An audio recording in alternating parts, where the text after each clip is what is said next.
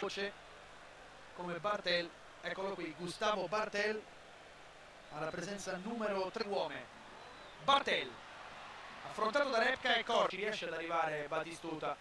E allora Bartel innesta la marcia veloce Bartel la sua caratteristica migliore riesce ad andare via a Torricelli ci sono quattro viola su di lui.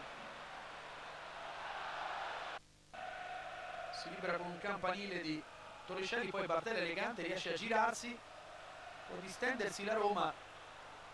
Tomastra Bartel Bartel un contrasto vincente per Bartel la finta ancora un'altra finta va via Bartel Bartel dentro e il gol di Dimitri Alenic lo rivediamo qui nella fase finale. Palla dentro di piatto Alenicev in anticipo su Torricelli un po' vedete il contrasto con Padalino poi la finta su Heinrich palla sotto fatto fuori amoroso poi anche Heinrich davvero un gol di Alenicev da dividere quantomeno a metà con Bartel.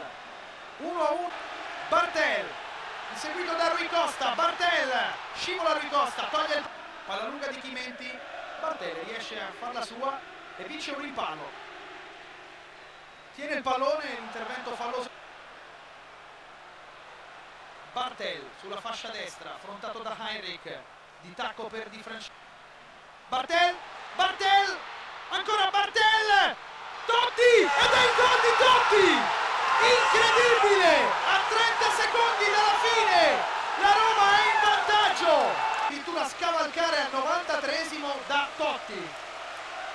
prova di grandissimo carattere da parte della Roma. La Fiorentina butta una vittoria quasi acquisita e la trasforma